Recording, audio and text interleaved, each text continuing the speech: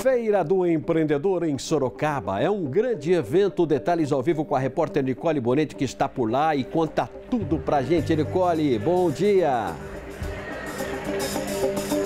Barazal, bom dia para você, bom dia a todos que acompanham o primeiro Impacto Regional. Isso mesmo, é quinta-feira já tem evento em Sorocaba, né? Para o empreendedor, o MEI, aquele que quer começar um negócio, tem uma ótima oportunidade. Olha, são três dias de programação. Por aqui, todo esse calendário, né? Começou já, essa programação começou às 10h30 da manhã e vai até às 8h30 da noite no Espaço Monteiro Lobato. Tem entrada gratuita, é aberto ao público, dá para fazer a inscrição rapidinho aqui na frente. Olha, tem muita coisa legal. São mais de 150 empresas expondo. Tem uma programação de palestra bem bacana também, várias atrações e o espaço que cada empreendedor montou aqui para apresentar o seu negócio. E são empresas aqui da região de Sorocaba, né? não só da cidade, mas também das cidades ao redor. E é uma ótima oportunidade de fazer esses contatos, né? essas conexões. A feira que já está na segunda edição e a primeira foi um sucesso.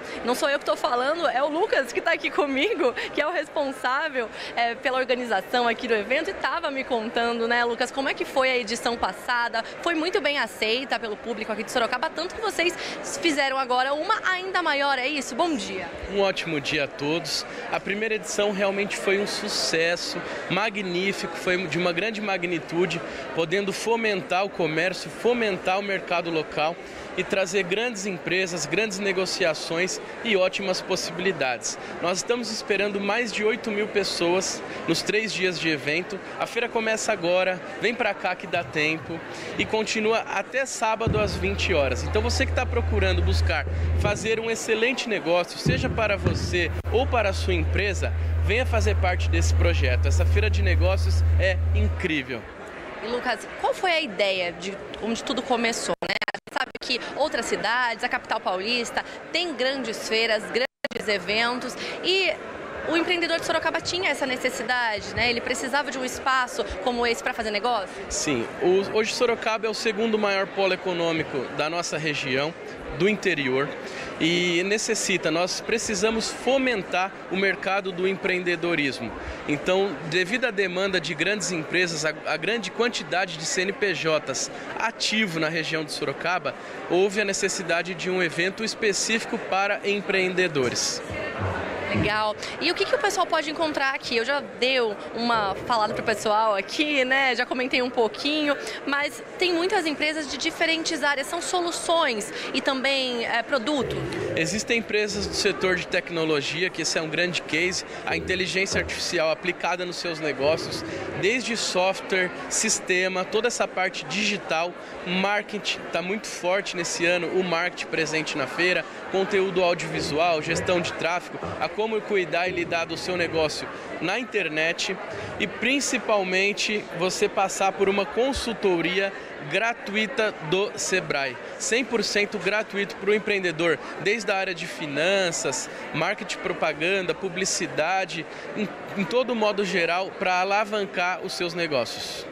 Lucas, o Sérgio Sakayamura, nosso cinegrafista, estava mostrando algumas imagens, está mostrando também esse setor aqui, que é do palco, tem as cadeiras.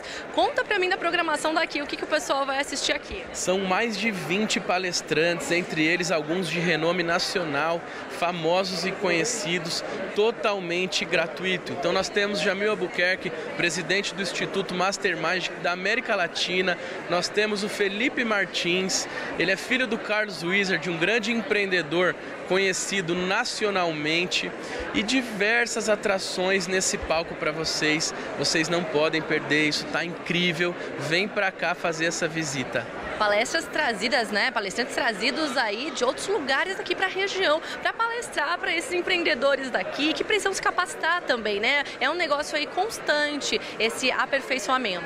Sim, nós temos Igor Duarte falando de finanças, nós temos é, programação neurolinguística, psicologia positiva, prosperidade, diversos temas abordados aqui. Vocês poderão assistir tudo isso gratuitamente. Venha, se inscreva aqui imediatamente. Pode vir que nós temos espaço para te receber. e nós estamos muito felizes em poder atender essa necessidade, poder contribuir com o crescimento e a evolução financeira da região metropolitana de Sorocaba. Quem não fez a inscrição ainda, não sabia que estava tendo o evento, é, pode fazer aqui na hora, então. Balcão de credenciamento aqui na entrada vai pegar uma filinha de 3 a 5 minutos, já consegue sair com a credencial e explorar desse mundo dos negócios e ganhar diversos brindes, ativações, promoções, pacotes imperdíveis que essas empresas prepararam exclusivamente para a nossa feira de negócios e o mês da Black. Muito legal, Lucas. Obrigada pela sua entrevista, pela sua participação aqui, um ótimo evento. Olha, e continuando falando aqui, né, sobre os estandes, um deles, como o próprio Lucas comentou, é o estande do Sebrae, que trouxe várias novidades aqui. Quem vai falar um pouco para a gente sobre isso é o Alexandre Martins, que é o gerente regional aqui do Sebrae. Alexandre, o que, que o Sebrae preparou para os empresários que vierem na feira? Então, o planejamento para essa segunda edição aqui foi muito bacana porque a gente está trazendo muitas novidades para cá.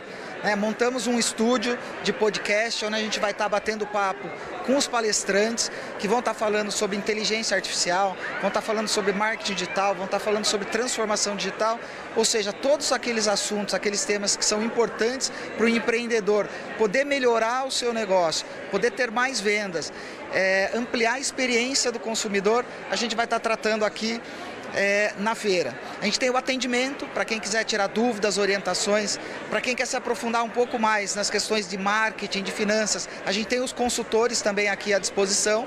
Nós vamos estar gravando o podcast também na feira, é, todos os dias com os palestrantes que vão estar é, fazendo as apresentações aqui. A grade de palestra está muito bacana, muito intensa, só com temas relevantes para os nossos empreendedores. Nós temos ainda uma loja colaborativa com aqueles clientes do Sebrae que participaram dos programas de inclusão social. Então, pessoas que participaram conosco de uma trilha de capacitação foram, foram aprender marketing, finanças, é, formalização e hoje estão aqui expondo, tendo uma primeira experiência de vender os seus produtos na feira.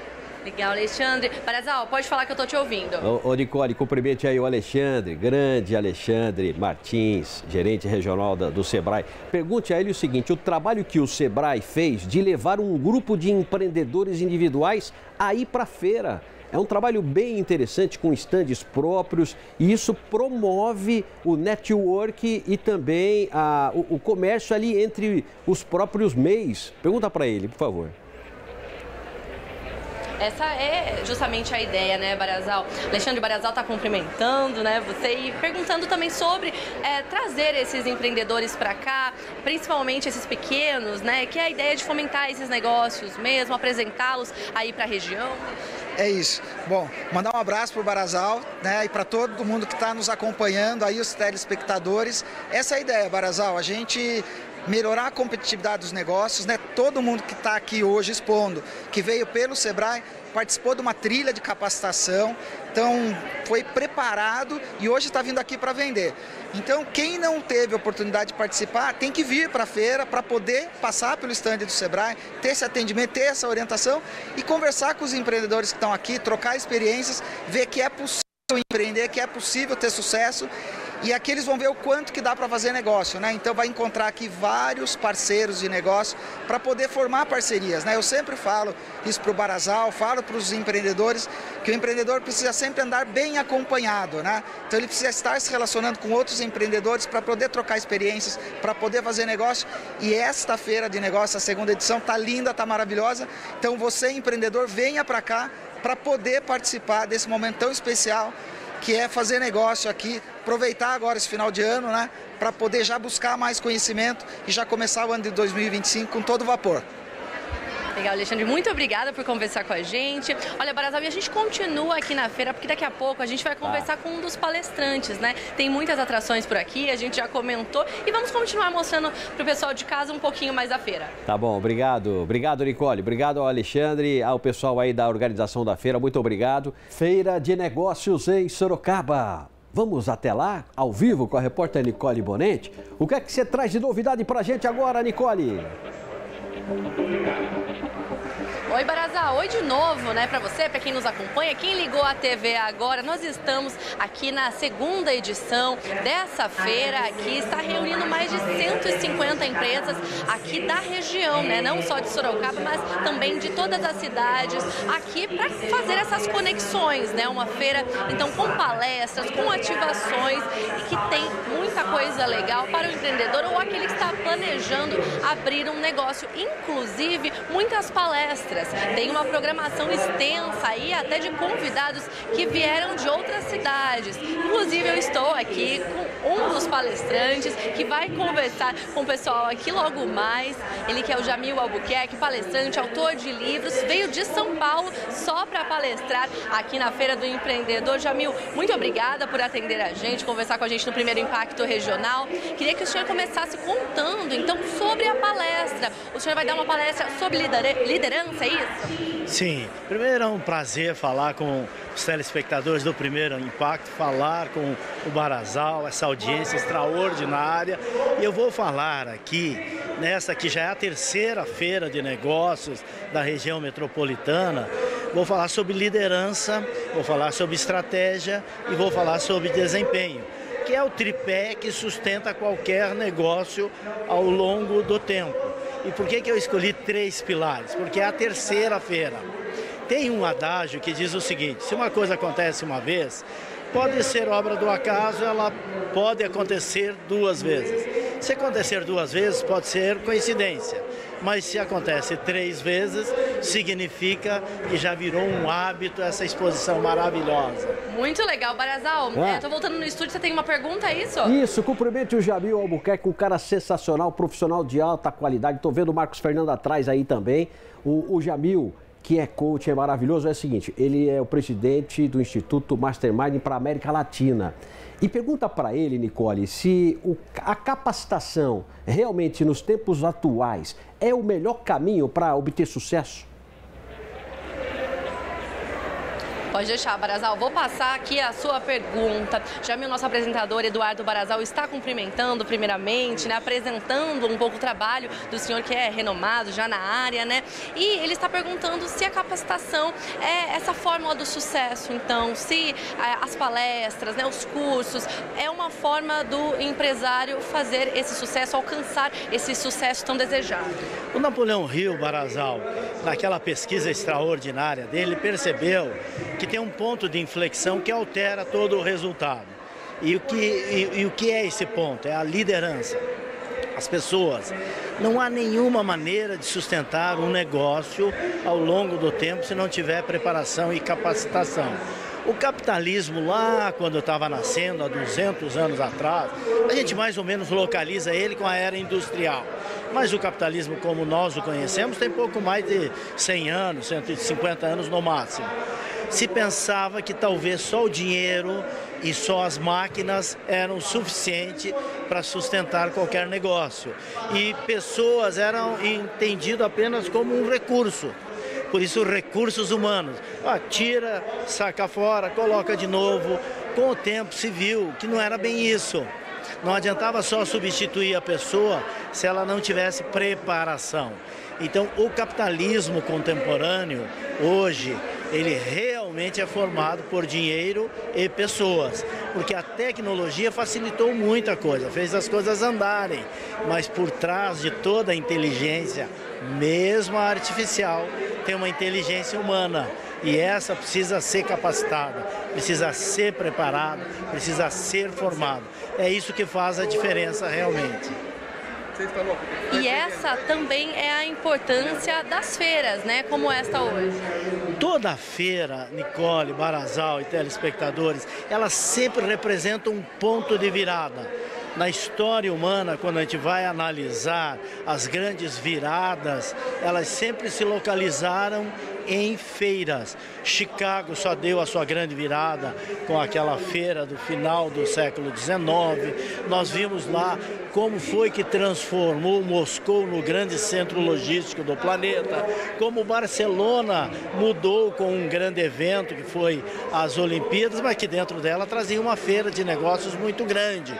Ou seja, toda feira ela tem essa importância esse impacto, porque é um momento de você mostrar a pujança, a força e o vigor de uma região, de um estado, de um país, através dessa amostra que em, em inglês quer dizer show, é, esse, esse processo de amostragem. Que aqui a gente anda pelos corredores e vê o quanto de serviços e de produtos nós somos capazes de produzir.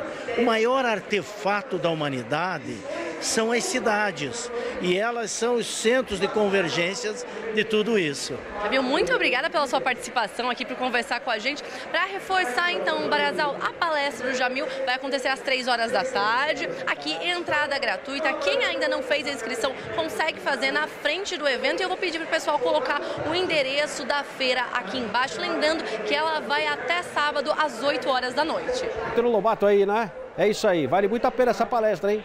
Eu vou aí. Dá tempo. Um abraço, Nicole. Um abraço, Jamil. Um abraço, Marcos Fernando, tá lá no fundo. Realmente é um negócio importante você estar envolvido com grandes mentes e onde os negócios acontecem.